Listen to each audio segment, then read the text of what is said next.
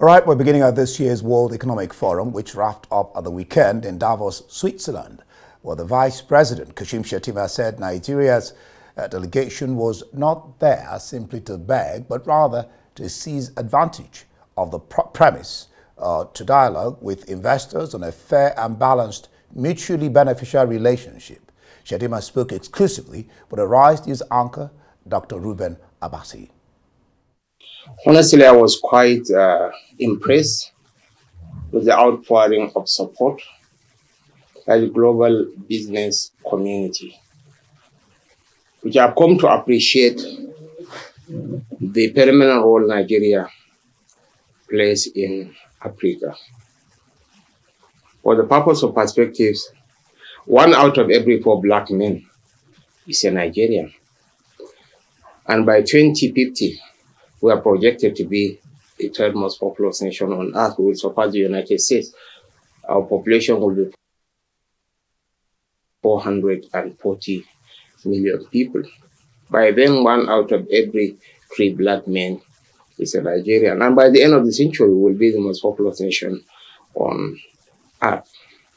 Certainly, this is the most populous country in Africa and its largest economy. Wherever Nigeria goes, that's where Africa goes. And the trajectory of global growth is facing Africa, and Nigeria will make or mar that destination. Our presence was well received, especially in the light of some far-reaching decisions taken by the present administration towards repositioning the economy. Oil subsidy for successive administration has been an albatross round our neck. The president summoned the political willpower to remove the oil subsidy. And we know the consequences of unveiling a masquerade. There's a huge cabal that peace part on the oil subsidies come. Look at the multiple exchange rate regime that provided room for a lot of shady practices. We collapsed the multiple exchange rates, the multiple taxation. The president had set up a committee to synchronize our taxes and come up with a single line taxation system. So the global community was thrilled. We had had a lot of positive interface, positive interactions and very soon, our efforts will start yielding fruits. We are not a poor nation by any standard. We are not a poor continent. We want to deal with people on a pedestal of equality. We do not come to the West with a begging bowl, no. We want to deal with them on mutually beneficial terms because ours is the richest continent in the world. The whole country of Europe their resources are not up to the resources in the Democratic Republic of Congo. This is why I said we carry our poverty with dignity. We are not here wherever we go. That was the Vice President Kashim Shettima. Nigeria's Minister of Solid Minerals Development, Adele Alake, says the ministry has begun investigations into the cause of the recent explosion in the Bodija area of Ibadan, noting that the government is awaiting the forensic result. In a statement released and signed by Shego Tomori, Special Assistant on Media to the Minister of Solid Minerals Development, Alake noted that while President Bola Ahmed has condoled with the governor and people of Oyo State over the incident, his ministry has also issued a statement of condolence to the victims, recommending that SACA be provided for them by the Oyo State governor.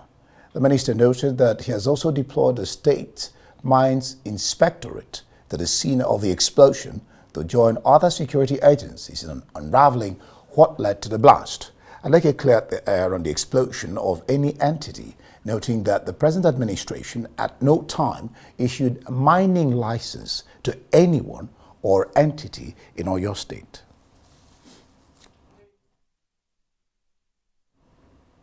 At least 134 people have been kidnapped in the last three months in the Federal Capital Territory, and this is according to Public Complaints Commission for the Federal Capital Territory. The commission claimed that the FCT Minister Nyesom Wike has not been properly briefed on the high level of insecurity in the nation's capital. Arise correspondent Tunji Olanipego fired this next report. The commission says insecurity within the nation's capital has taken a disturbing trend with 135 people kidnapped within the last three months in the six area councils of the FCT. The Federal Commission of the Public Complaints Commission in the FCT, Dalhatu Ezekiel, said this while briefing journalists on the high rate of kidnapping and banditry, saying that the FCT Minister Nyesom Wike seemed not to have been properly briefed on the high level of insecurity in Abuja. The commission is so worried because Abuja is the capital city of Nigeria, the mirror through which the entire world sees this country. And if we allow and keep quiet and remain docile with the happenings, it will consume everybody. As we speak, people are deserting their communities in the rural community, migrating to the nearest urban cities.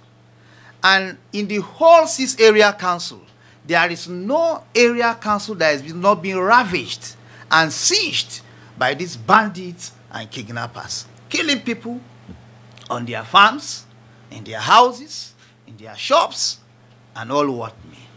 It's very, very unbecoming, and I want to call the attention of the Honorable Minister to this ugly trend that is going on in the FCT.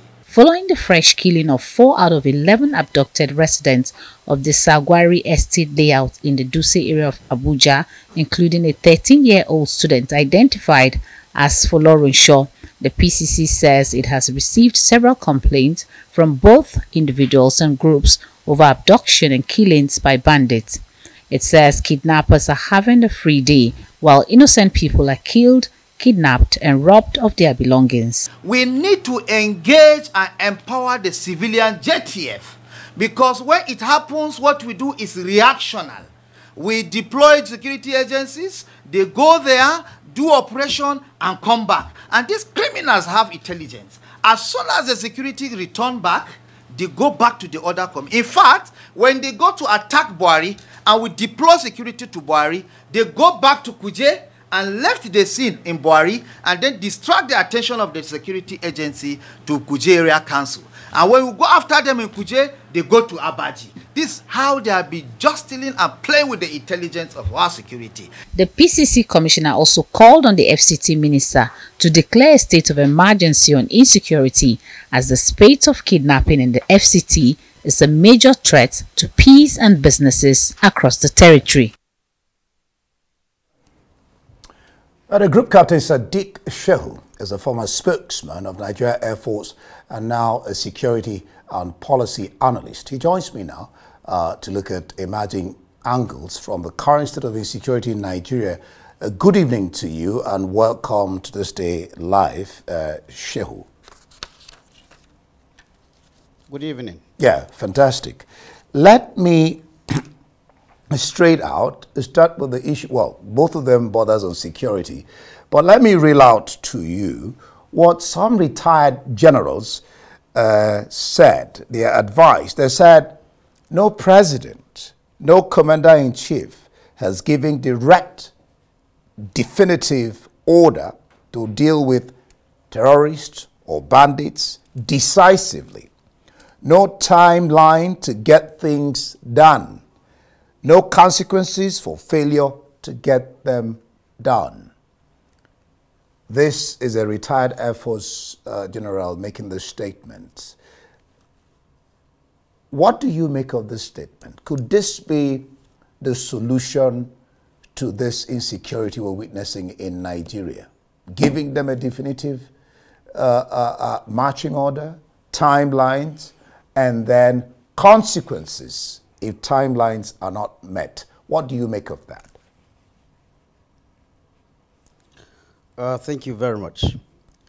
Uh, in reality, you know, the, uh, the safety and security of citizens is not on the security chiefs, it's not on the service chiefs, it's on the president and commander in chief.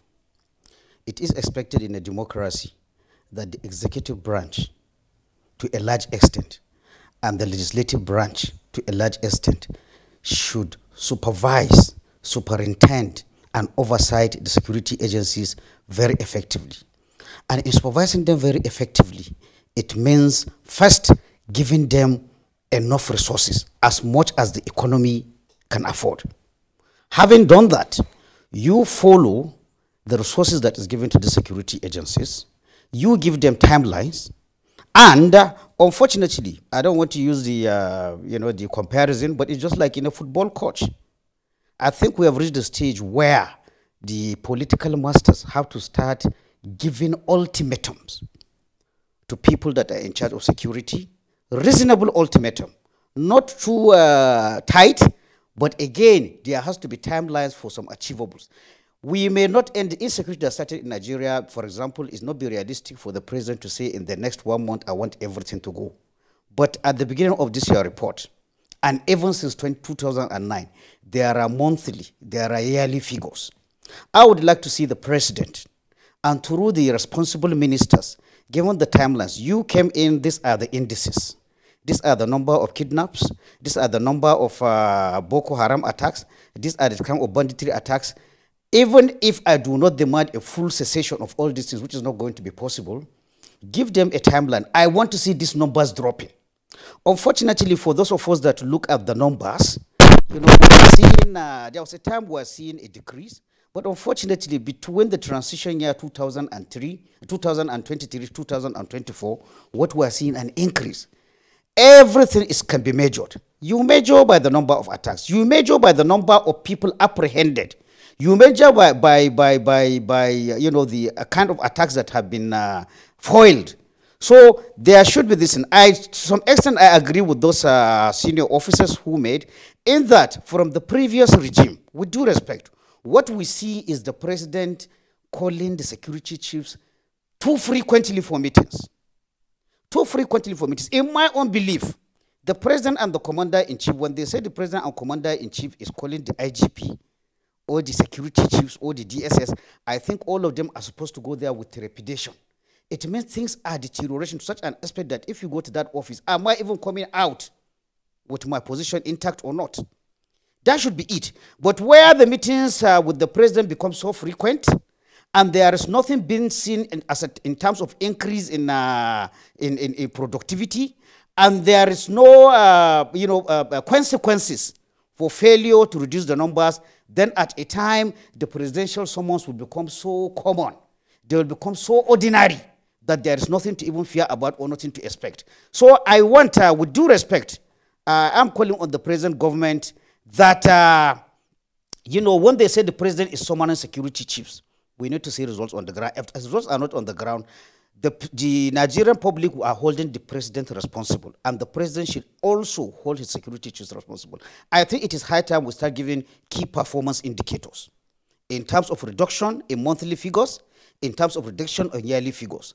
And this major, this uh, you know, uh, figures should be measurable, should be visible, so that the citizens will have, uh, whether it is reality or perception, the average Nigerian now believes, and we, the major decision, will also believe empirically that the security situation uh, is becoming uh, worse and worse by the day.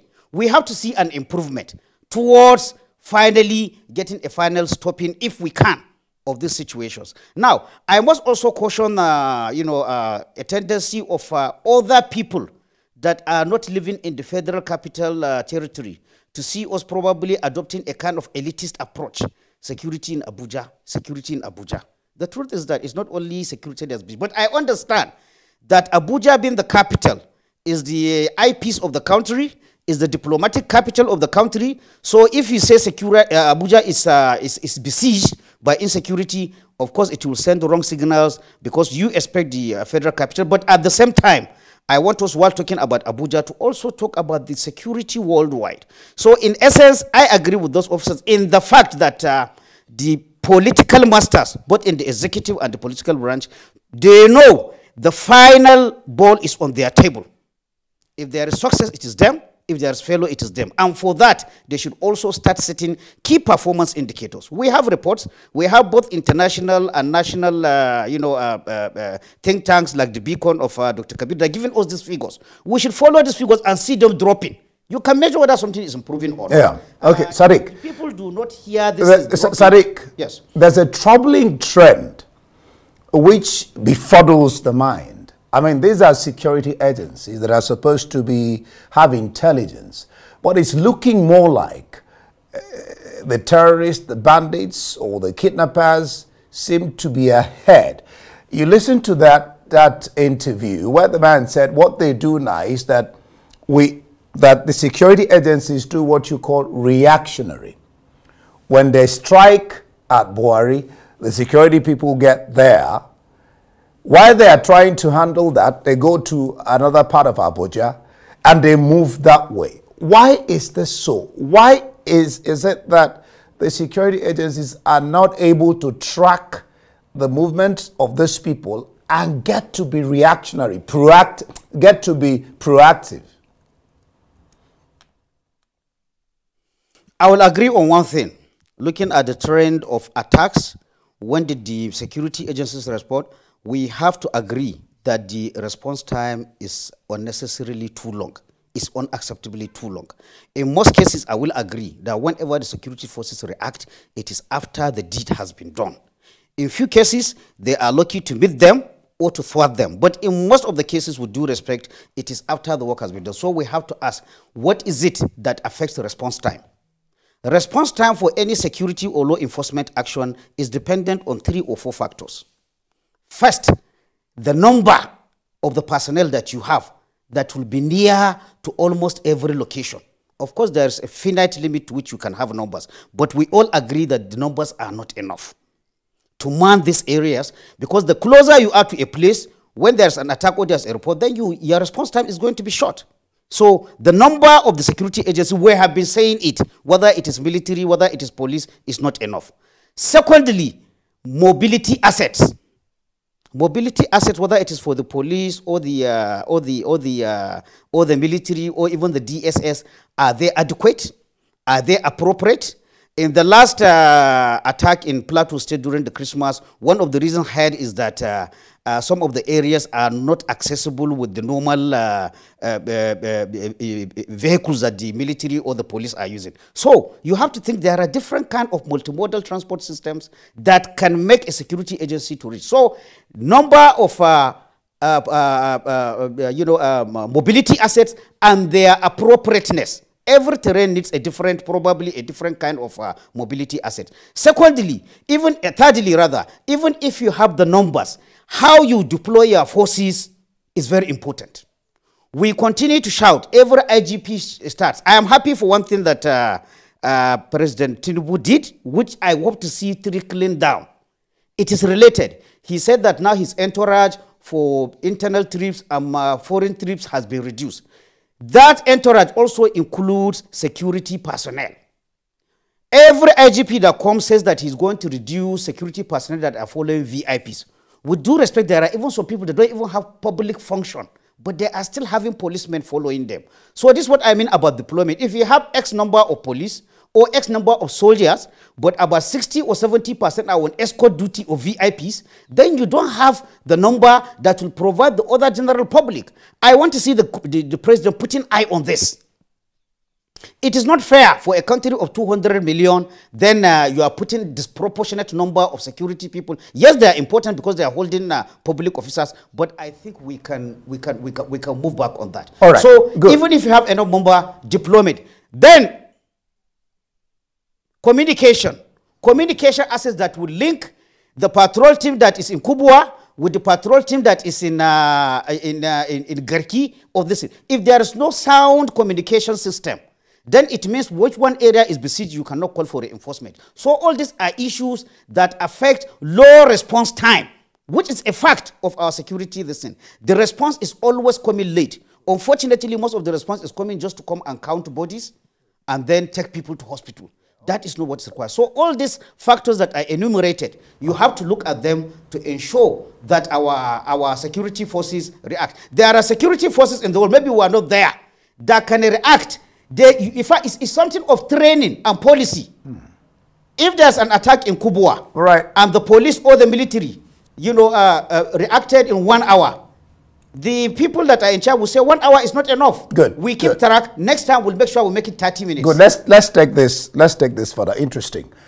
My concern, really, and of course, I'm sure uh, the concerns of Nigerians. What you have raised is what then is the meetings that are held over time. For example, the second issue you touched on, that there are places that were not motorable or didn't need I, one would expect that in your security analysis and talks, this should come up so that I mean you're ready, you're prepared. If, if it is if it is a, a truck that is needed, if it's a motorcycle, you are ahead of time.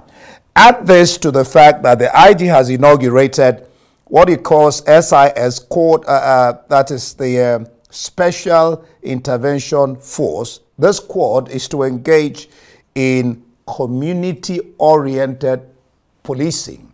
How is this going to help?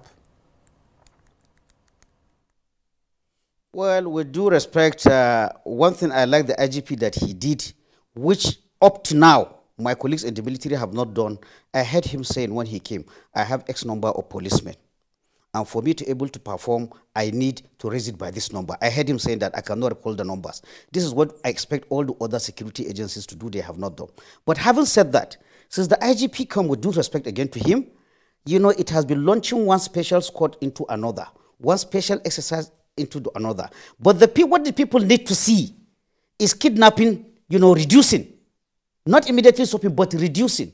So we've seen so many, you know, uh, special intervention squad, uh, the uh, uh civil defense, they say they have special women squad to stop uh, school kidnapping. All this special, this special, that special, this special, that. Unfortunately, what people want to see in reduction is not special, this special, that special, that.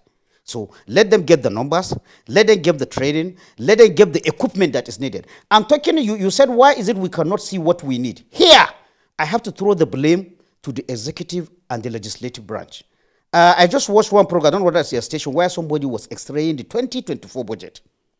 When you say you want your police to move sharp, you want your military to police sharp, when they bring a budget and you don't see, you know, provisions for adequate security, and then you see provision for some frivolous projects. I say frivolous because there's, there's prioritization. For a country that's facing these security challenges, I don't want to see things like uh, we are renovating building, we are building university. I don't want to see such things inside the budget. But you wonder, how does this kind of budget pass from the executive branch to the National Assembly and it is approved? You should be talking that items that first of all increase the operational capacity of the security agencies. Anything. The National Assembly, by the way, has the power. They are not bound to accept everything that the IGP presents at his budget. They are not bound to accept everything that the Chief of Army Staff or Chief of Air Staff or Chief of Naval Staff present at his budget.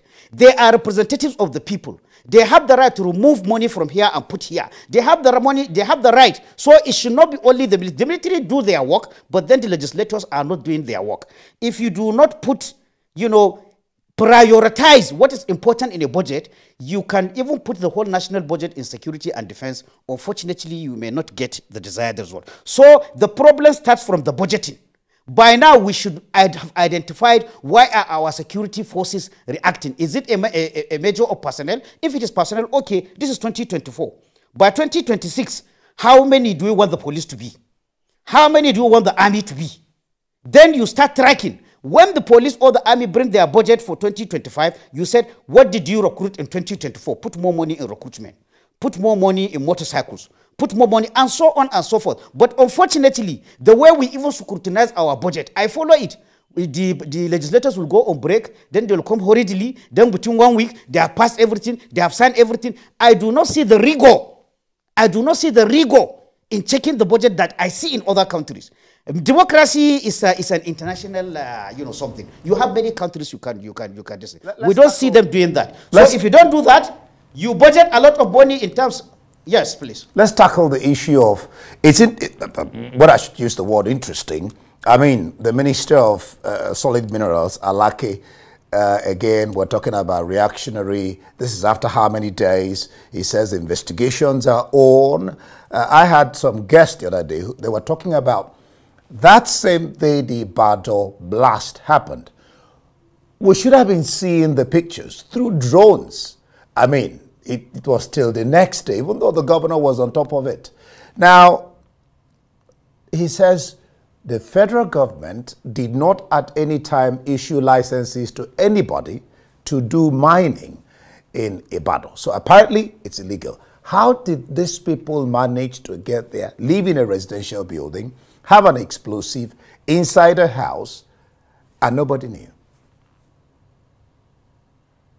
Thank you very much. A very valid observation. I am very active, by the way, on social media.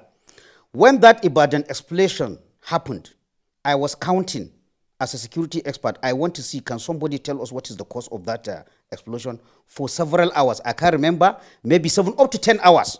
Up to 10 hours, I can remember. Nobody could even specifically say, was this caused by an IED? Is it explosive? Is it even an attack by some uh, criminal uh, elements? It took us 10 hours. Then the governor came and said uh, it is foreigners that have uh, that have uh, planted, I mean, that have explosives in the houses. And then the police, I remember also passing a statement that it is IED. So what does that tell me? Low capacity. Low capacity. Within that 10 hours, we are supposed to have experts that will give us an insight of what is happening. We don't have that. And uh, talking about uh, the law, which he said we didn't go. You know, I like, sometimes we have this tendency of uh, not taking responsibility. We are good to say it is foreigners, it is foreigners. Okay, it is foreigners. I want to believe mining or minerals exploration is a legal business. And a foreigner is allowed to come and prospect for such minerals. What the, what, the, what the foreigner cannot do, he is not the one to tell us the kind of laws and regulations we don't have. So whether you bring somebody from Mali, whether from France, to me, it doesn't make sense. If you have your house in order, this is how you are supposed to register. This is how you are supposed to store your explosive. This is how you are supposed to use the explosive. This is the kind of uh, magazine. In other countries, even the specification, the kind of walls, the kind of material, the distance from lodging where you put your magazine, where you put explosives, all over the world, um, mining, mining companies use explosives. It is not something illegal per se, but how you store it, how you acquire it, how you are registered, how inspectors monitor it is there. When I was checking on this, uh, uh, uh, uh um, I didn't hear what you said. The minister said they didn't give any mining. When when I checked now, the only, apart from the Nigerian Mining uh, Minerals and Mining Act, which didn't talk about anything about uh, you know how explosives are to be used. The only subsisting act we have is the Explosion Act of January 1967. 1967. That is two years after independence. And what that act did it just gave us an outline of what we should do because it contained only two sections. The section where it said there should be a minister who is charged with explosive, who is supposed to give regulations as to the manufacture, importation, uh, handling, storage of explosives that are used for mine. From that 1967, all our subsequent governments and legislators were asleep. Because when you have such a, a very minimal legislation, what is expected is to give subsidiary legislations or regulations. I didn't see any in my research. Until 2019, when Honorable uh, Rima Shawulu, you know, passed another bill requesting for the repealing of this 1967 1967 bill for the district. He did a very good work because when I checked, there are, you know, he even mentioned that it is Inspector General of Police who should be responsible for providing licenses. The Inspector General of Police also is to uh, appoint people that are called chief inspectors. And the chief inspectors on the same line, they are supposed to appoint inspectors for each area. Like this Ibadan, for example, according to that act, there is supposed to be an inspector in, in, in Ibadan area who you will apply to for license, who will go and inspect where you are keeping your explosives, who is check your papers, and so on and so forth. We do not have that. Right. So, but the good thing is that I hear that the president, after the FEC meeting, have set up a committee, as was said by Minister of Defense, uh, uh, uh, uh, former Governor of Jigawa, Badaru, that there's a committee. But what this committee needs to do is to go and look at that bill by Honorable Shaul, because I think it has not been passed into an act. So the point I am making is that we are always reacting. Yeah. We have a bill 1967, an act of 1967. That is the only regulation we have whether somebody is from Mali, whether somebody is from France, that is the only thing that is holding him to do what is necessary. All right, before I let you purchase, go. storage, exportation of, uh, yes. Before I let you go, uh, they say you learn uh, through two ways, either through wisdom or experience. Wisdom is when you read the uh, literature other people have written about some subjects, you rub minds with them, you know what to do. Experience is when it happens to you, you learn. One is a little bit, this has happened in a battle. With all the, uh, uh, you know, uh, all the talk around it, failure here, there, there. Are we really in this nation taking stock, learning from what occurred yesterday so we can better or forestall these things from happening the next time? A very valid observation, Mr. Charles we are not a learning people. And what I observe with Nigeria, we cannot keep our eye, the whole country, including me, we cannot keep eye on two things or three things at once. When one incident happens, before we find the solution to the end of that problem, if another solution comes, another problem comes, we leave that one and go. We started with uh, this year with uh, Tudun Biri uh, uh, uh collateral damage as soon as uh, better better edu better educate came, we left that one and followed this one. Now we are following uh, Ibadan explosion. We'll leave Ibadan explosion without finding the solution and move to security in, in, in Abuja. So the point I am making, while we are looking for solution, one thing we need to do, we don't keep track. We don't learn lesson. We don't improve our this. The America we call, the America we call, they have capacity for self-criticism to understand this thing is not working. And since it is not working, we should improve it. We don't do that. So again, what I'm calling on the federal government, it is good they set up a committee. And I always say Nigeria is blessed. Nigeria is blessed with human capacity. Whatever endeavor, you have experts. When you have a work, give it to the experts that are knowledgeable in that area to do that. This committee that is set up, I hope it will not be, uh, you know, composed of committee of people who do not know how mine regulation, how explosive regulation are, are. Within the armed forces, within the security agencies, there are experts in this field. I hope the committee will not be, you know, dominated by paper people who really do not know. So I agree with you. We are not a country that learn lessons. We are not a country that uh, try to improve on what we have. But we hope this will change for the betterment of everybody in the country. That, that is our only prayer. That's our hope. Thank you so much, Group Captain Sadeeq Shehu, uh, Security Policy Analyst, for being on this day live.